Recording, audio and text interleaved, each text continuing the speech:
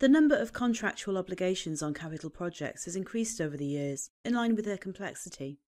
Using spreadsheets to manage and track the hundreds or thousands of obligations across multiple stakeholders on long term complex contracts is no longer practical.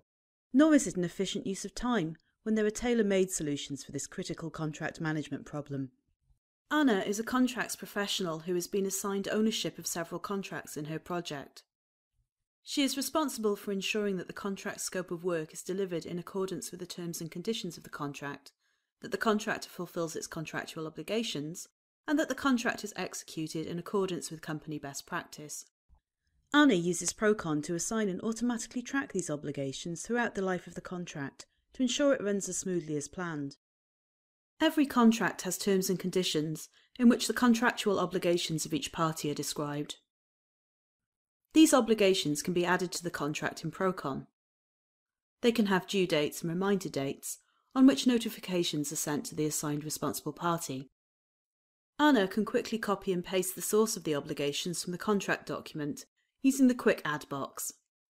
The responsible party for the obligation will receive notifications on its due date and reminder date.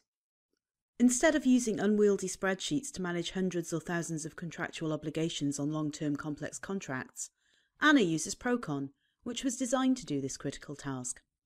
She knows the real time status of all contractual obligations, as do her contractors. She now knows when critical risk cover provided by contractors and their subcontractors will expire, such as third party liability insurance and workmen's compensation insurance. Increased visibility and automated reminders help ensure that insurance cover is never interrupted.